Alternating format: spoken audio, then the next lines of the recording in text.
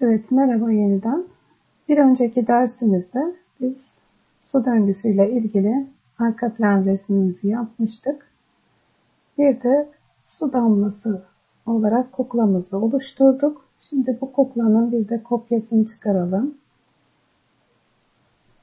Çünkü buradan da diğer buluta yükselsin su buharı. Şöyle iki adet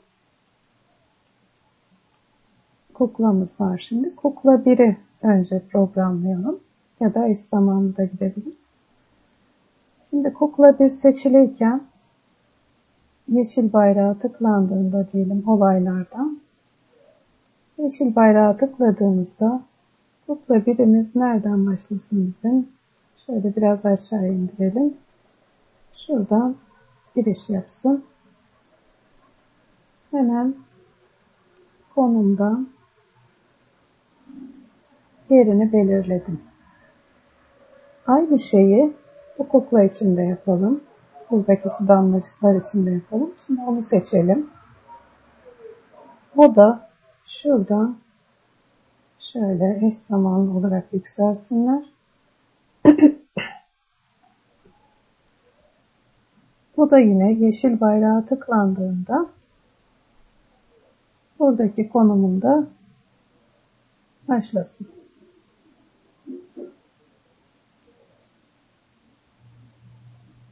Bir adım yukarı çıksın şöyle.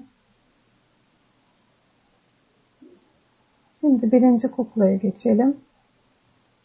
Birinci kuklamız da biraz daha yükselsin.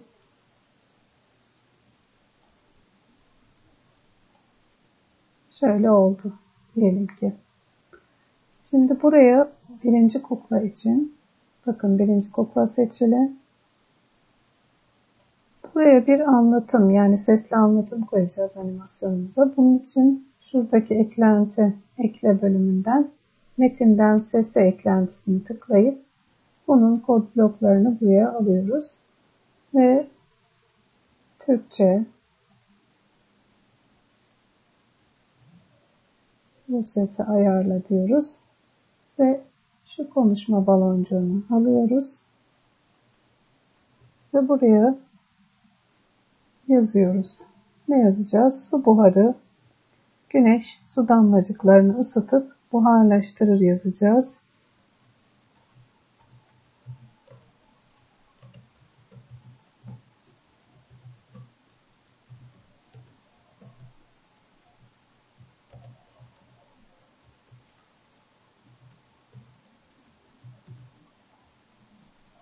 Böyle yazdık diyelim ki.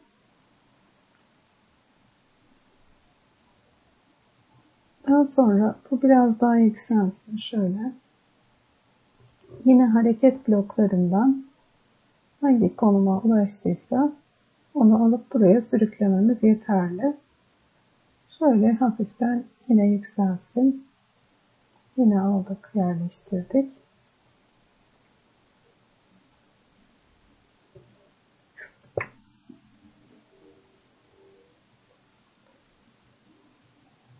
Birazcık daha yükselsin. Yükselince kere daha yükselttik. Birazcık boyutu küçülsün istiyorum. Onun için görünümden boyutunu yüzde kaç olsun bakalım. Yüzde otuz olsun boyutu. Buraya geldiğinde küçülmüş olsun. Ve buluta ulaştığında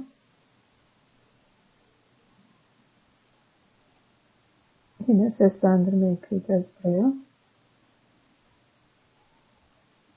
Yine metinden sese bölümünü seçip bu defa su buharı gökyüzüne yükselerek bulutları oluşturur yazıyoruz buraya.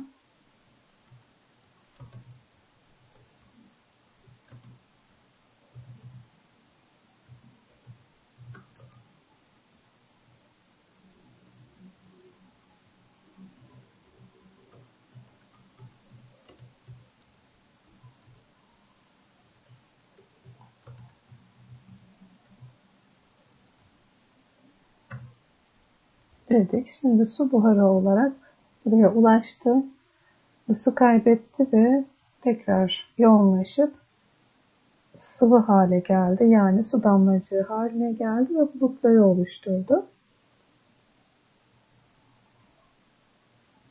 Bunu da nasıl açıklayalım? Şöyle diyelim. Güneş su damlacıklarını ısıtıp buharlaştırır. Bir durduralım animasyonu. Şu yazıyı yazacağız.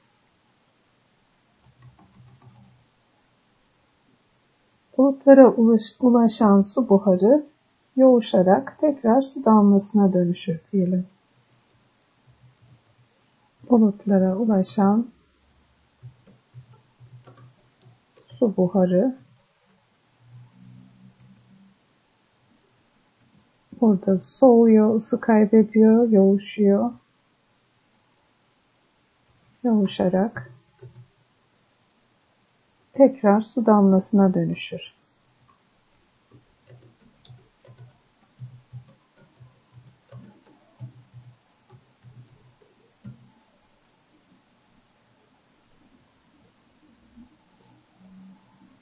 Şimdi bir izleyelim ne oldu. Güneş su damlacıklarını ısıtıp buharlaştırır. Su buharı gökyüzüne yükselerek bulutları oluşturur. Bulutlara ulaşan su buharı yoğuşarak tekrar su damlasına dönüşür. Evet. Birdenbire küçülüyor burada ama onu daha sonra ayarlayabiliriz. Şimdi burada tekrar yağmur olarak inecek ve yağmur sesi vermemiz gerekiyor. Bunun için bir haber göndermesi gerekiyor. Onu da şuradan yapıyoruz. Birinci haberi sal diyoruz. Bir haber sal. Haber biri saldığında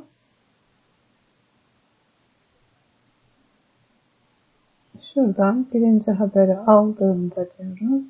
Buraya da. Bu ne demek şimdi?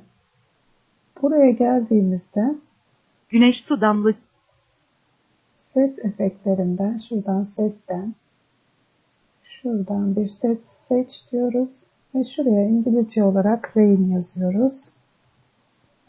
Rain yazdığımızda bakın yağmur sesi burada var. Buna tıklayalım. Yağmur sesi buraya geldi. Ve biz kod bloklarına gidiyoruz.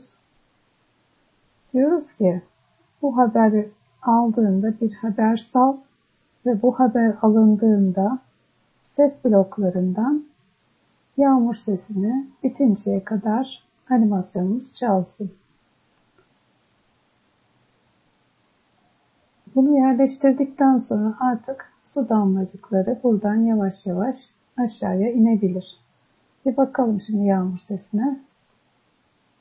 Güneş su damlacıklarını ısıtıp buharlaştırır. Su buharı gökyüzüne yükselerek bulutları oluşturur. Bulutlara ulaşan su buharı yoğuşarak tekrar su damlasına dönüşür. Evet, tam burada yağmur sesi başlayacak. Güneş su damlacıklarını ısıtıp buharlaştırır. Su buharı gökyüzüne yükselerek bulutları oluşturur. Bulutlara ulaşan su buharı yoğuşarak tekrar su damlasına dönüşür. Evet, burada durduralım simülasyonumuzu ve tam burada bu noktada yağmur başlayacak ve su damlacıkları tekrar yeryüzüne inecek. Şöyle hafif insin. Şöyle olsun hatta. Hareketten yine geldiği konumu hareket bloklarından alıyoruz. Bir kere daha aşağıya doğru süzülsün şu şekilde. Ve buraya yine metinden sese bloğundan konuyu anlatacağız.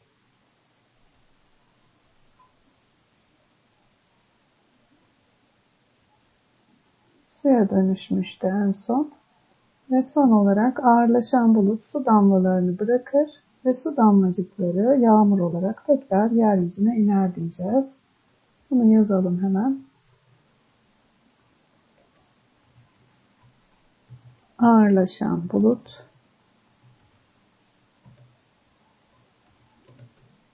su damlacıklarını bırakır. Ve su damlacıkları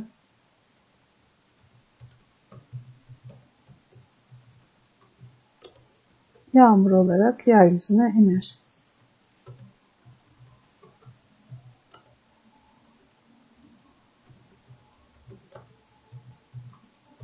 Dedik. Ve artık yağmur olarak yavaş yavaş aşağıya süzülmesini sağlayalım. Şöyle gelsin. Minik adımlarla yağsın yağmurumuz. Şöyle usul usul şu şekilde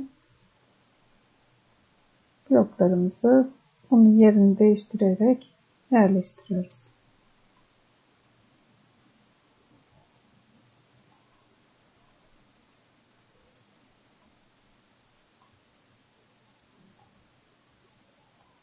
Şöyle bir adım daha giderse tamamlanacak gibi.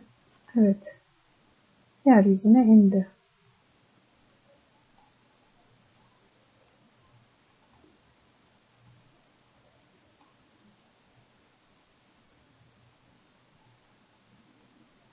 Böyle geldi. Peki ikinci bulut e, şu su damlacıkları nasıl yükselecek? Bunlar da bu buluta yükselip inecekler ama ne zaman yağmur suyu olarak inecekler onun ayarını yapacağız şimdi. Şimdi ona geçelim onun kodlarına. Buna tıkladık. Buraya kadar yükseltmiştik. Onun da görünümden boyutunu %30 yapalım.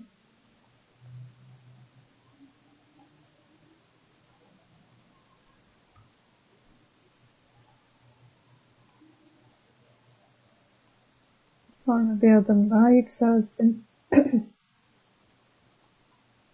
Şöyle yükseldi diyelim ki. Şuraya geldi.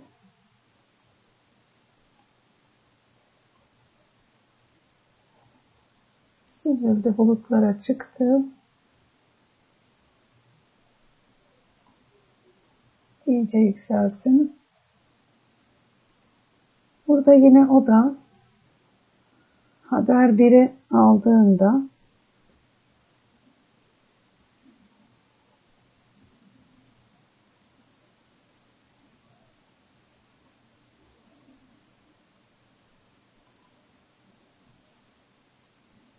haber bir alındığında yavaş yavaş buradan süzülerek aşağıya doğru insin. Bu, bu defa buna iletiyoruz bloklarımızı şöyle. Bakalım.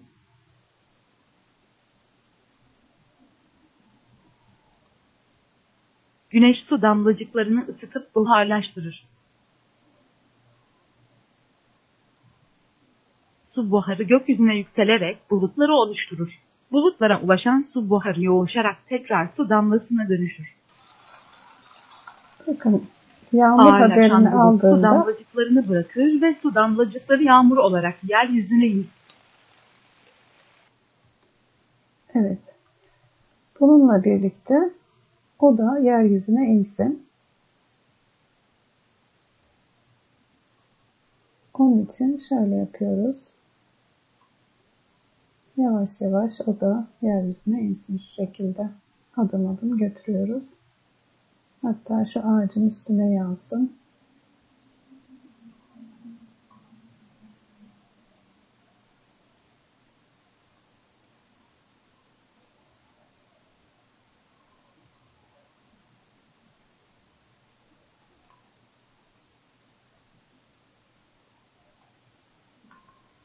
Bu şekilde su damlacıklarını yavaş yavaş aşağıya doğru indirdik.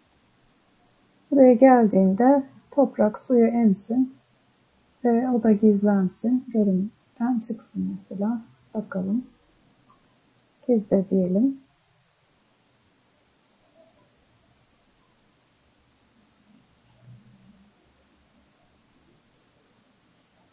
Burada görünsün. Burada da gizlensin en son buraya geldiğinde.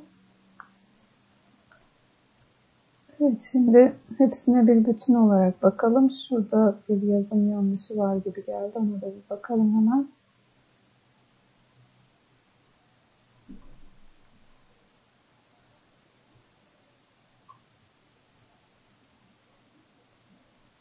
Tamam gibi.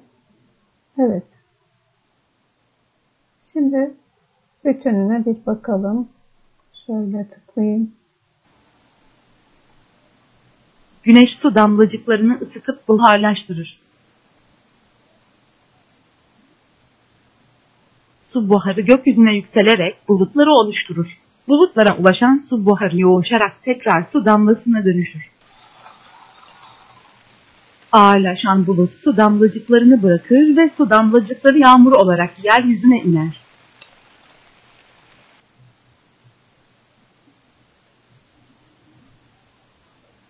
Evet, bu şekilde siz de animasyonunuzu düzenleyip hazırlayabilirsiniz. Hepinize iyi çalışmalar diliyorum.